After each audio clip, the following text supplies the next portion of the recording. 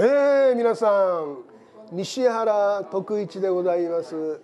ブラジルの沖縄県のブラジルの教会の会長です。それからブラジルの名誉領事をしております。でブラジルには20回行ってまいりました。昨年はブラジル移民110周年がありましてね。このようにブラジルの沖縄県人ブラジルのうちの人たくさん自分が来る交流をやってまいりました。西原徳一です。よろしく。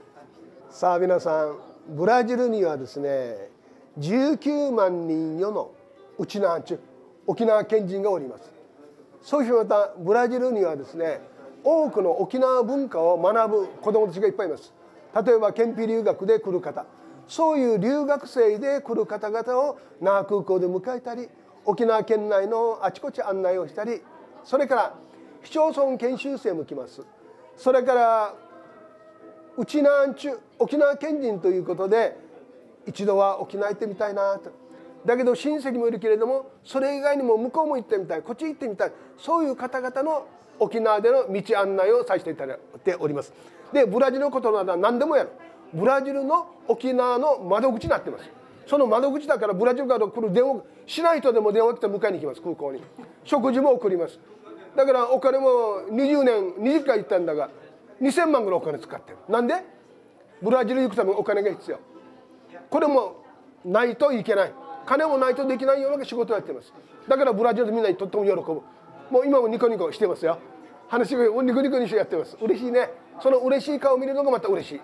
ということです。ありがとうございます。いろいろやってます。私はあの沖縄のお芝居はですね沖縄の方言内縄口で成り立てるんです。だからよく泣き笑いの沖縄芝居と言われますけれどもね方言知らないと泣けない。笑えない意味がわからないんだから。そういうことで沖縄の子どもたちに内縄口沖縄の方言をたくさん習ってほしいなと。そうするとお父さんお母さんも今はお父さんお母さんが標準語でしゃべるんです。で子供ちも標準語。ということで沖縄の言葉の文化がもうなくなっちゃうんです。